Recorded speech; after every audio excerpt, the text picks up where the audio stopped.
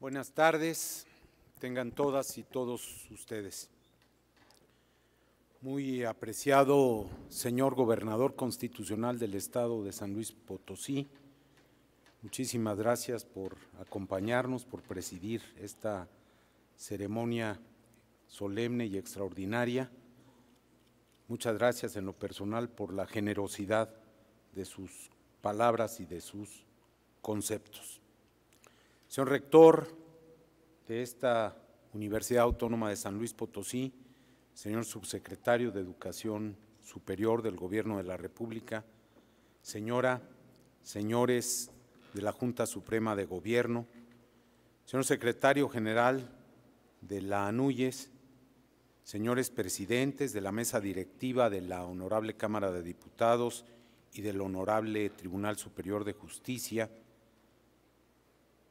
señores legisladores federales y estatales, señor presidente municipal y exrector de esta Casa de Estudios, señores exrectores, exgobernadores de San Luis Potosí, señoras, señores integrantes del Consejo Directivo Universitario, funcionarios federales y estatales que nos hacen el favor de acompañar, señores rectores de universidades hermanas, estimados profesores, alumnos, trabajadores y representantes de ellos que nos acompañan en esta oportunidad, señoras, señores de los medios.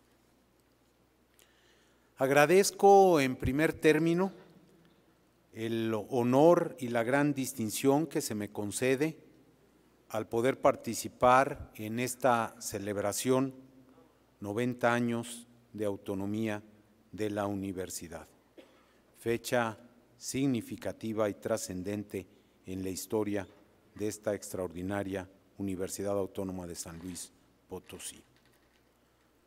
Quiero recrear y reiterar algunos conceptos que han sido señalados y quiero hacerlo a partir de la realidad que tiene nuestro país. Una extraordinaria nación llena de problemas, es cierto, pero al mismo tiempo llena de historia, de recursos, de instituciones y de posibilidades. Y quiero hacerlo porque tengo la plena convicción de que en las últimas semanas hemos sido testigos de cambios que se apuntan como fundamentales para nuestro país. Y que así como con frecuencia hemos reclamado a los actores políticos nacionales que alcancen los acuerdos que México requiere, cuando ellos los alcanzan, tenemos que reconocer esa tarea.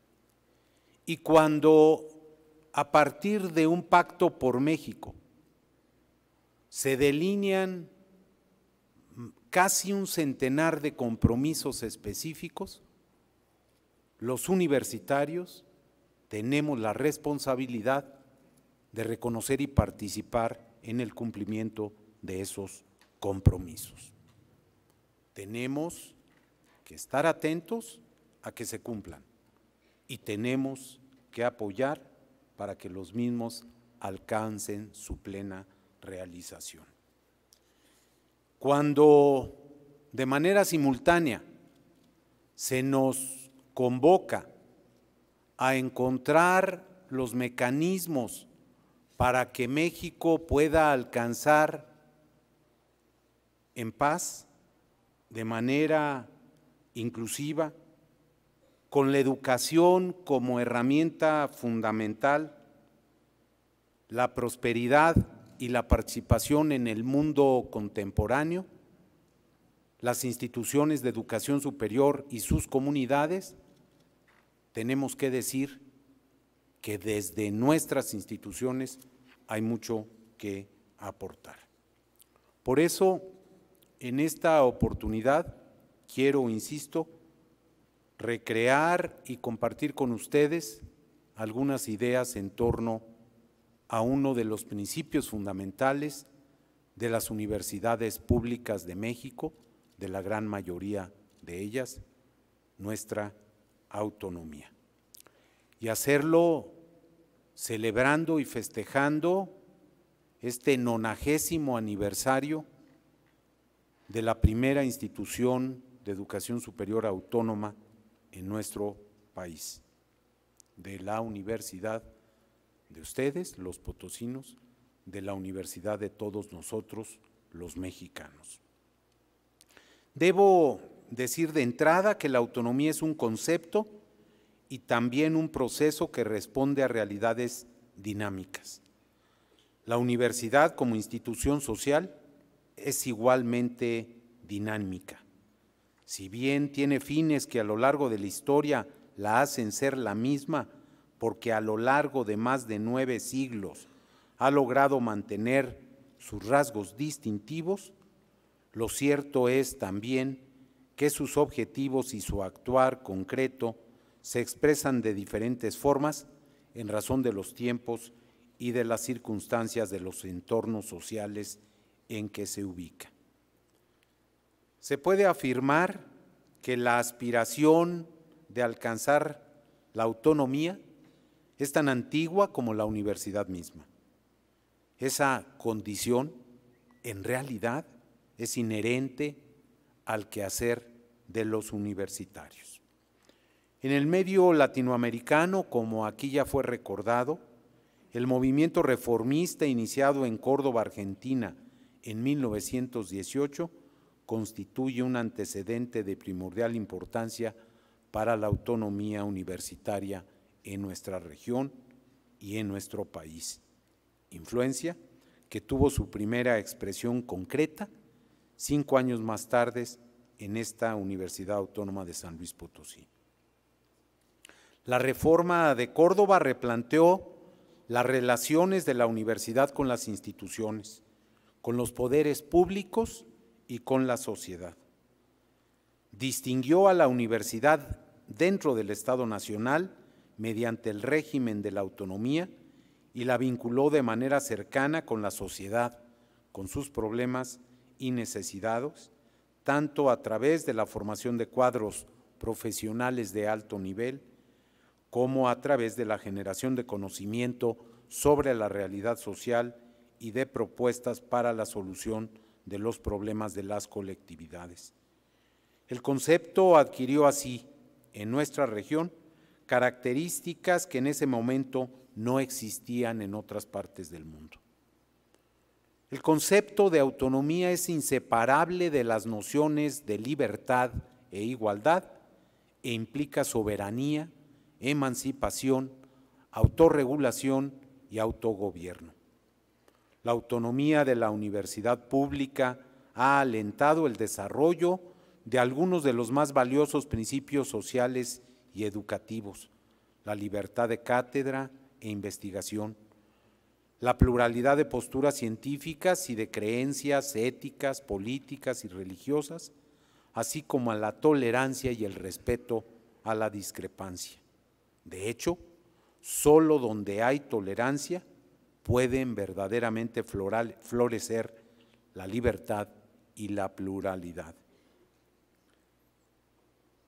Quiero destacar que en mi perspectiva la autonomía y la responsabilidad van de la mano. La autonomía implica responsabilidad y esta supone a la autonomía. La responsabilidad en las acciones o decisiones solo puede atribuirse a quienes actúan libremente y no bajo la coacción o la sujeción a normas o criterios impuestos. La autonomía universitaria refuerza la libertad de pensamiento y la pluralidad. Libertad y pluralidad que necesariamente se traducen en pensamiento crítico. Pensamiento crítico que se expresa en todos los órdenes de la vida universitaria y que transita en paralelo con la búsqueda abierta y diversificada del conocimiento, con la conciencia de que no hay una verdad única y definitiva y de que las posiciones dogmáticas no tienen cabida ni sentido en una comunidad académica, inteligente y educada. El mundo de la academia, de la ciencia y la cultura en general es un mundo abierto, hecho de consensos y disensos y por ello vivo y en transformación permanente. En este sentido, la autonomía no se adquiere de una vez y para siempre. Se alcanza con su ejercicio cotidiano en un proceso siempre inacabado. En el caso de las universidades mexicanas, es pertinente destacar que la autonomía no ha sido una concesión para las universidades públicas, cuanto un reconocimiento conferido por los poderes del Estado. La adición de una fracción al artículo tercero de la Constitución no otorgó la autonomía a las universidades públicas. Esta les había sido conferida por sus propias leyes orgánicas, expedidas, por supuesto, por los poderes legislativos. En todo caso, lo que se hizo fue reconocer la autonomía universitaria y consagrarla en el máximo cuerpo jurídico nacional como uno de los valores fundamentales. Por supuesto, la autonomía de las universidades públicas está supeditada a los principios constitucionales que rigen la actuación de cualquier ente del Estado y que en principio de sus actividades específicas debe apegarse a tales principios. De ello se desprende que la autonomía universitaria, como aquí también ha sido recordado, no significa inmunidad, no representa extraterritorialidad. No se trata de una situación de excepción del orden jurídico general, forma parte de él. La existencia y reconocimiento de la autonomía universitaria supone la existencia de una sociedad con un considerable grado de desarrollo y estructurada a partir de un Estado democrático. En un Estado autoritario, donde no prevalecen las libertades, no existe y no puede prosperar la autonomía universitaria. La existencia de una sociedad y un Estado verdadero, verdaderamente democráticos es, por otra parte, condición que posibilita el crecimiento y el desarrollo de la autonomía y de la vida universitaria. La autonomía tiene que ver con la vida misma del país y con su desarrollo. Permite y facilita la creación y recreación de la cultura nacional favorece la trascendencia social de las actividades académicas y la identificación de los egresados universitarios como ciudadanos plenos, participativos y responsables. La autonomía que se reconoce a las universidades públicas implica compromiso, implica un empeño enorme. No es concesión gratuita, y menos privilegio vano. Se trata de uno de los valores más sentidos e importantes para la universidad contemporánea. La autonomía es fundamental para la universidad pública y esta, esta institución es igualmente esencial para la vida democrática del país. Tiene un papel de enorme importancia en la consolidación de los principios y valores colectivos que sustentan a la democracia. Sus funciones de educar, investigar y extender la cultura constituyen medios de la universidad para responder a la sociedad en que se ubique y desarrollo. El servicio a la sociedad es, por tanto, un objetivo que debe impregnar y dar sentido a las actividades académicas de las universidades públicas. La autonomía implica no solo un ejercicio permanente de consideración de las tareas propias, sino también de análisis permanente de la realidad del país, de sus problemas y de sus necesidades, y en especial de sus asimetrías y agudas desigualdades a las que las universidades públicas deben estar atentas para contribuir a atenuarlas e idealmente contribuir a resolverlas. No se puede ignorar que en tiempos no lejanos, desde algunos sectores, incluido el gubernamental, se percibía la autonomía de las universidades públicas como una debilidad, cuando no incluso como una dificultad. Tampoco podemos ignorar y negar que han existido episodios indeseables y situaciones críticas, al igual que desencuentro entre las universidades y los poderes públicos, a partir de la existencia y el ejercicio de la autonomía. Pero es falso que esas condiciones se hubieran generado por ella. Al contrario, la autonomía ha servido para resolver problemas, ha permitido avanzar y madurar, ha facilitado el establecimiento de mejores formas de comunicación y coordinación. La autonomía y los mecanismos para su ejercicio han sido, por otra parte, dique de contención para ambiciones e intereses particulares. Ha permitido a nuestras universidades mantener la independencia necesaria frente al gobierno, pero también frente a los poderes públicos y otros actores, grupos, partidos políticos, iglesias y organizaciones. La verdadera autonomía se ejerce desde la universidad y respecto de todos ellos. Por su naturaleza, la autonomía es frágil y vulnerable. La experiencia muestra que en diversas ocasiones se ha conseguido introducir elementos que la distorsionan o que dificultan su ejercicio pleno.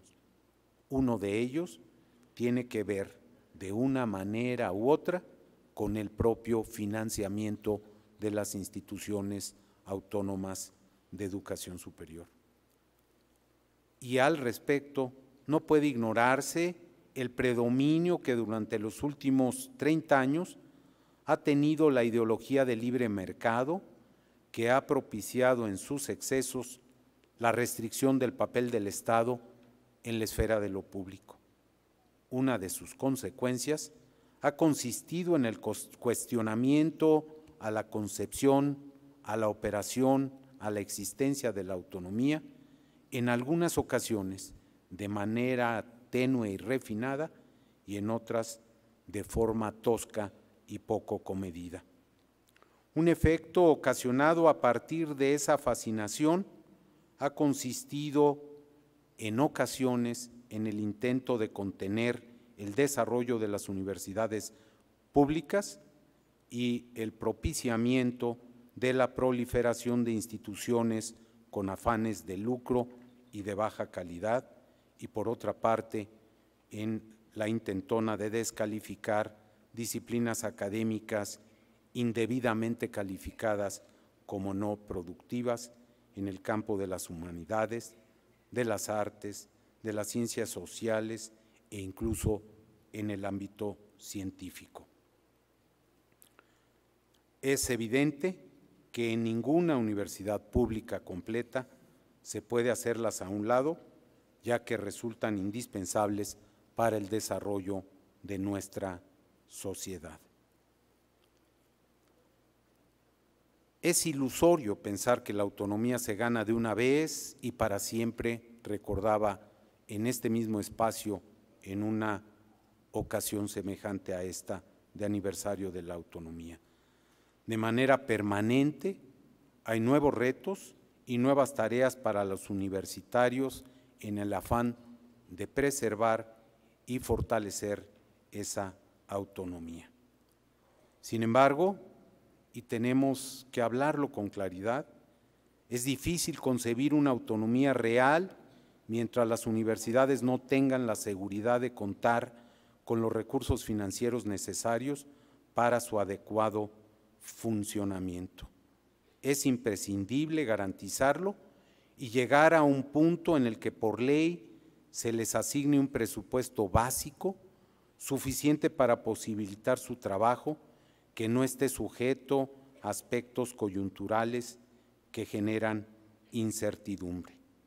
Por ello, somos muchos, nuestra propia agrupación de universidades e instituciones de educación superior, quienes hemos insistido en la, en la conveniencia, en la verdadera necesidad de implementar presupuestos plurianuales para las universidades públicas, presupuestos definidos para varios años que permitan a las instituciones de educación superior contar con mayor capacidad de actuación, con mejores posibilidades para emprender proyectos de mediano y largo plazo, porque solo con la certeza de la disponibilidad de los recursos financieros requeridos estará completa la autonomía que tutela el artículo tercero constitucional. Deben establecerse las reglas necesarias, objetivas, claras y transparentes que trasciendan el ámbito de las disposiciones subjetivas y de las buenas voluntades de los actores involucrados en cada ejercicio anual. Como antes señalé, la autonomía, por otra parte, implica responsabilidades con la sociedad y con el propio Estado. Entre esas responsabilidades hay que destacar una vez más la necesaria transparencia y la escrupulosa rendición de cuentas de los recursos económicos recibidos. Durante muchos años se interpretó que la autonomía no implicaba dar cuentas a los poderes del Estado, sino en el mejor de los casos, solo a las propias autoridades universitarias colegiadas para después hacerlas públicas ante la comunidad y la sociedad en general. Sin embargo, es de señalar que ha habido en los años recientes una viva preocupación de que los recursos públicos en general se ejerzan de manera responsable y se han instrumentado medidas al respecto, lo cual es en sí mismo y por supuesto en mi perspectiva adecuado, pertinente y de ninguna manera violatorio de la autonomía de la universidad. La rendición de cuentas ante la sociedad y ante una instancia externa, como la Auditoría Superior de la Federación, ha sido, a mi juicio, positivo no ha debilitado, sino que ha fortalecido la autonomía al transparentar el uso de los recursos públicos. Los informes periódicos a los integrantes de las comunidades universitarias, las auditorías internas y los ejercicios de Contraloría han favorecido también la confianza de la sociedad en las universidades públicas autónomas. Por otra parte, la fiscalización que ejercen los poderes de la Federación sobre los recursos que se otorgan a las universidades públicas en un sistema democrático en el que se respeta el Estado de Derecho deben verse en consecuencia como parte de la normalidad universitaria. No puedo, sin embargo, dejar de mencionar un aspecto que en lo personal me preocupa en el terreno de la fiscalización de los recursos. Por supuesto, y lo vuelvo a reiterar, las universidades públicas estamos en la obligación de rendir cuentas claras de los recursos que se nos asignan. Pero esa legítima necesidad de vigilar el buen uso de los recursos públicos no debe convertirse en un mecanismo para, limitar la libertad académica. Es por ello que muchos universitarios no estamos de acuerdo con que instancias ajenas a la comunidad académica pretendan tener injerencia directa o indirecta en la operación de nuestras instituciones, en la toma de las decisiones del uso correcto de los recursos fiscales que se nos asignan. En este sentido, Quiero señalar que a mí en lo particular me parece que ha llegado el momento de discutir con toda seriedad los asuntos referentes al financiamiento integral para nuestras casas de estudios. Lo mismo en el presupuesto ordinario que se nos asigna que en el que viene o procede de los fondos federales extraordinarios destinados a las universidades públicas. Quizás sea también tiempo de poner en el tapete de la discusión la conveniencia de establecer una gran política de federalización y fortalecimiento de las universidades e instituciones públicas, estatales, federales, autónomas, tecnológicas y de toda naturaleza en nuestro país. La autonomía de la mayoría de las universidades tiene que ser fortalecida y garantizada respecto de las relaciones con todas las estructuras del Estado nacional. Al gobierno federal le compete fortalecer las funciones dirigidas a promover un desarrollo equilibrado de la educación superior en todo el país y a garantizar con el respaldo de las entidades que así lo hagan el acceso a servicios de calidad en todas las regiones y actuar en consecuencia con un papel compensatorio como ya lo hace en el caso de la educación básica. Los recursos especiales de la Federación tendrían de esta manera por objeto avanzar en la búsqueda de la equidad y de atenuar las enormes, enormes asimetrías que en cobertura y en calidad tiene la educación superior en nuestro país.